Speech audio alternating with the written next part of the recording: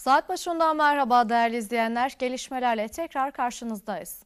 Rusya Devlet Başkanı Vladimir Putin, Azerbaycan Cumhurbaşkanı İlham Aliyev ve Ermenistan Başbakanı Nikol Paşinyan bugün Soçi'de bir araya geliyorlar. Şimdi bu görüşmenin gündemini ve görüşmeden çıkabilecek sonuçları konuşacağız. Artvin Çoruh Üniversitesi Rektörü Profesör Doktor Mustafa Sıtkı Bilgin'le birlikte. Hocam hoş geldiniz yayınımıza.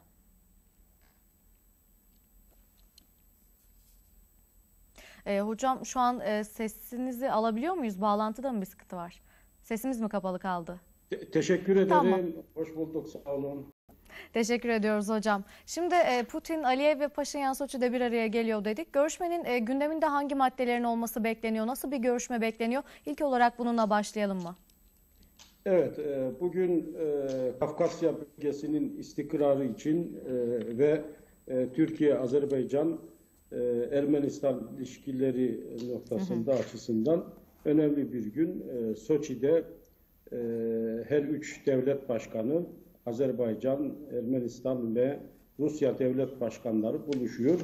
Konuda e, efendim e, Karabağ konusu ve yine Moskova mutabakatının uygulanması e, dahi ortaya çıkan sıkıntılar.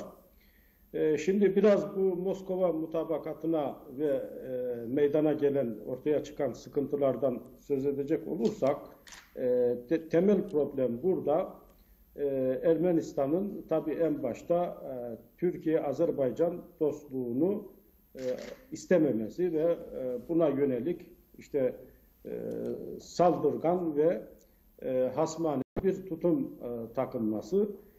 Malum bundan 15 gün önce e, Ermenistan işte e, Laçin ve Kelbecer'de e, bir saldırı başlatarak e, 7 Azerbaycan askerinin şehit olmasına ve efendim e, 50'ye yakında e, Ermenistan askerinin ölümüne sebep oldu. Ağır bir tokat yemiş oldu Azerbaycan'dan. Ee, Ermenistan'ın bu tür hasmane tavrına, sebeplerine baktığımız zaman e, başta tabii iç politik ve ekonomik sebepleri var.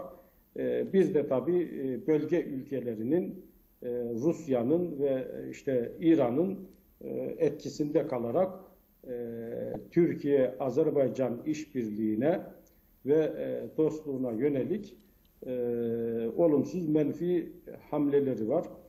E, iç politikasına baktığımızda işte Hınçak ve Taşnak gibi radikal e, gruplar ve bunların e, tesirlerine karşı Paşinyan e, bir şekilde e, cevap vermek durumunda kalıyor. Ekonomik e, sıkıntılar var. E, diğer taraftan da e, İran'ın ve e, Rusya'nın Türkiye'nin Kafkasya'da ve Orta Asya'daki e, faaliyetlerinden ki Türkiye önce Kafkasya'da Türkiye-Azerbaycan işbirliğinde bir e, istikrar havzası, barış havzası, bir e, ekonomik havza oluşturmak istiyor ve bunu da e, Kafkasya üzerinden e, Orta Asya'ya yaymak is- istiyor. İşte yine geçtiğimiz e, 10 gün önce kadar, bir hafta önce kadar İstanbul'da Türk Keneşi toplandı. Bu Türk devletleri birliğine e, döndürüldü. Bu da çok mühim bir adım oldu. E, tabii bundan e, rahatsız olan e, bölge ülkeleri var. E, bu çerçevede de baktığımızda Moskova mutabakatının e, iki önemli maddesinden birisi e, Karabağ'a geçit sağlayan Laçin koridoru Ermenistan ve Karabağ arasında bir diğeri de Azerbaycan ile Nahçıvan arasında geçit e, sağlayan e, Zengezur koridoru veya Mehri koridoru. Zengezur koridoru niçin önemli? Çünkü bir e, şu anda Azerbaycan'ın Nahçıvan ile direkt bağlantısı yok. Direkt bir bağlantı kurmuş olacak. İki, Türkiye'nin işte Nahçıvan ve Azerbaycan üzerinden Orta Asya ile bağlantısı kurulacak. Şimdi Moskova mutabakatı çerçevesinde bakıldığında işte Laçin koridorunda 5 kilometre genişliğinde kara ve demir yolunun kurulması e, kabul edildi mutabakat çerçevesinde. Ama e, uluslararası mütekabiliyet esasları gereği ki diplomasinin temel esaslarındandır. e, Laçin'de alınan e, bu karar e, aynı şekilde Zengezur veyahut da Mehri koridorunda da uygulanması gerekir. Ama Mehri koridoru meselesine baktığımızda Ermenistan demin bahsettiğim sebeplerden dolayı işte e, Türkiye-Azerbaycan e, birliğini, işbirliğini, güç birliğini engellemek, efendim e, Türkiye'nin e, Kafkasya ve Orta e, Asya politikalarına yönelik e, stratejilerini baltalamak ve bir de e, Ermenistan hiçbir zaman Dağlık Karabağ e, veyahut da Karabağ zaferini diyelim e, hiçbir zaman e, hazmedemedi. Devamlı e, bunun e, işte e, bir şekilde e, öcünü almak veyahut da e, bu Karabağ zaferinin etkilerini azaltmak, zayıflatmak için devamlı engelleyici, saldırgan, işte diplomaside de e, olumsuz tavırlar e, almaya devam ediyor. İşte bu olumsuz açıklamalara baktığımızda işte hem e, Ermenistan e, Devlet Başkanı e, hem e, efendim Başbakan e, hem de e, Dışişleri Bakanlığı'nın açıklamalarına baktığımızda işte bizim Zengezur koridoru gibi, Mehri koridoru gibi bir e, sorunumuz, bir konumuz yok. Biz böyle bir e, derdimiz veyahut da böyle bir e, işte e, koridor aşmayı düşünmüyoruz gibi filan devamlı bir mutabakat olduğu halde bir anlaşma, uluslararası bir anlaşmadır neticede Moskova mutabakatı. Buna e, Ermenistan uymak zorundadır. Ancak e, bunu engellemek için elinden geleni yapmaktadır. Fakat burada şöyle bir durum da var. E, küresel e, bir e, stratejik, jeopolitik durum da var Rusya açısından. Rusya'nın şu anda önceliği siyasetinin e, merkezi, mihverinin, e, stratejik mihverinin merkezi Karadeniz'e, Ukrayna'ya dönmüş durumda. Rusya'nın e, bir taraftan Avrupa Birliği ile sıkıntıları var, ambargolar var. Diğer taraftan Amerika Birleşik Devletleri ile anlaşmazlıkları, işte yeni ambargo konma durumları var. Dolayısıyla Rusya ağırlığını Karadeniz'e vermiş iken, e, Ukrayna meselesine yoğunlaşmış iken Kafkasya'da yeni bir kriz istemiyor. Hı hı. Ancak diğer taraftan da Ermenistan'ı da e, tatmin etmek istiyor. İşte Ermenistan'ın e, bir şekilde Rusya'dan yüzünü çevirerek işte Avrupa'ya veya Amerika'ya dönmesini de istemiyor. E, Soçi'den e, her tarafı, her iki tarafı veyahut da bütün e, Kafkas bölgesini tatmin edecek bir e, sonuç çıkması zor. E, Rusya hiçbir tarafı e, incitmemeye çalışarak işte her tarafa tabiri caizse e, idare etmeye çalışarak böyle bir e, işte orta yol bulmaya çalışacak.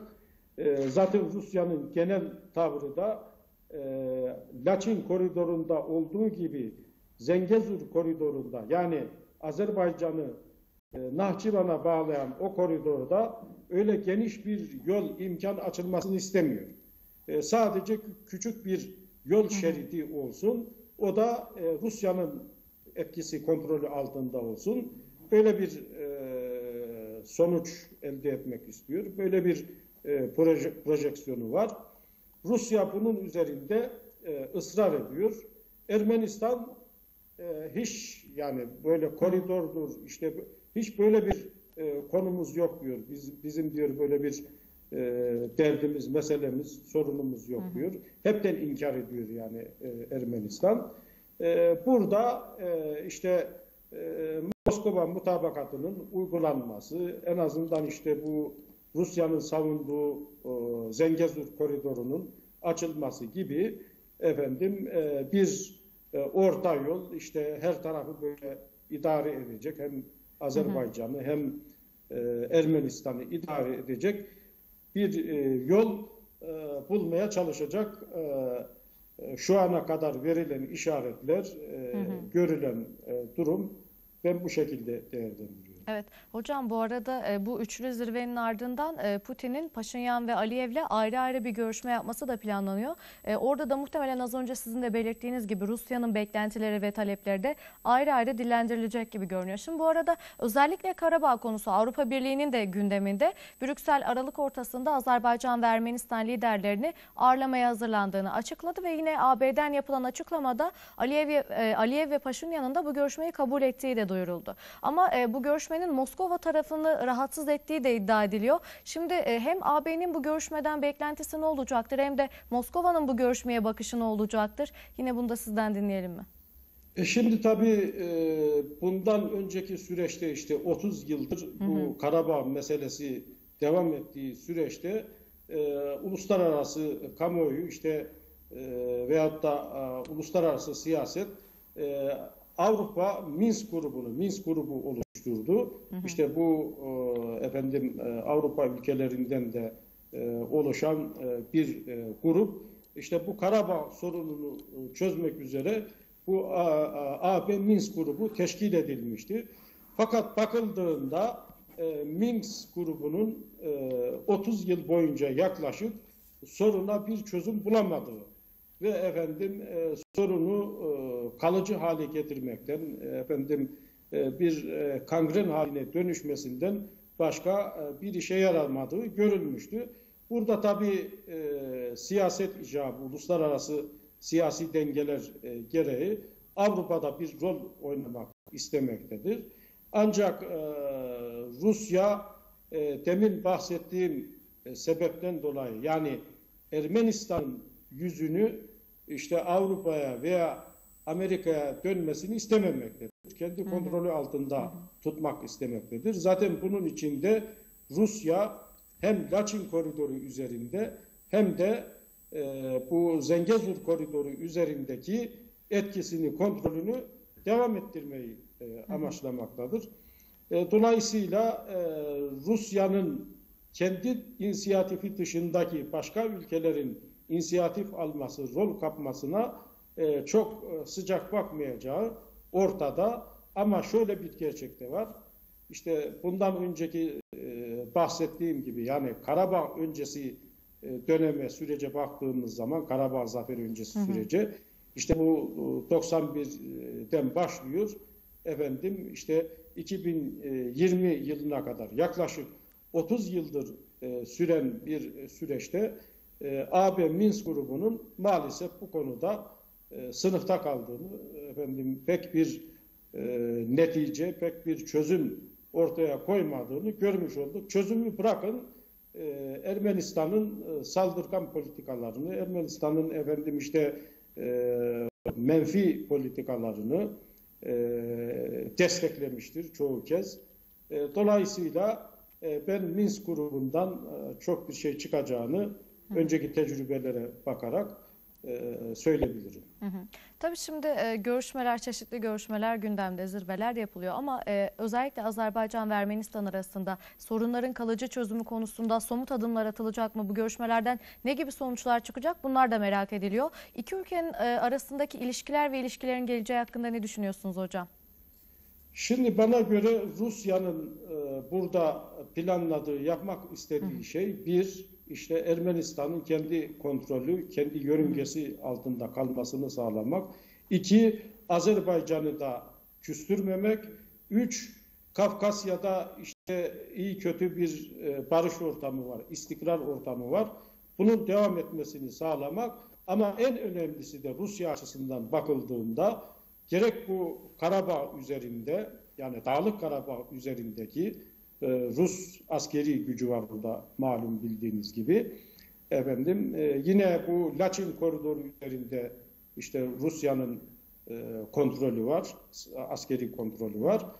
E, bu Rusya kontrolünü e, her halükarda devam ettirmek istemektedir. Gerçi Moskova mutabakatına göre Rusya'nın Dağlık Karabağ'da askerini e, işte e, bırakması veyahut da e, Dağlık Karabağ'daki askeri varlığının devamı 5 yıl süreyle işte bundan sonra e, uzatılıp uzatılmayacağı e, işte görüşmelere bağlıdır filan den, deniyorsa da Rusya bunu uzatmayı ve bu kontrolünü devam ettirmeyi e, amaçlıyor. Yani bu, bu- bunu işte Rusya'nın politikalarından görmekteyiz. Rusya bu kontrolü e, hiçbir zaman bırakmak istemez. Ancak diğer taraftan da işte e, bir Karadeniz denklemi var. İşte Avrupa Birliği, efendim uluslararası güçler e, dengesi var.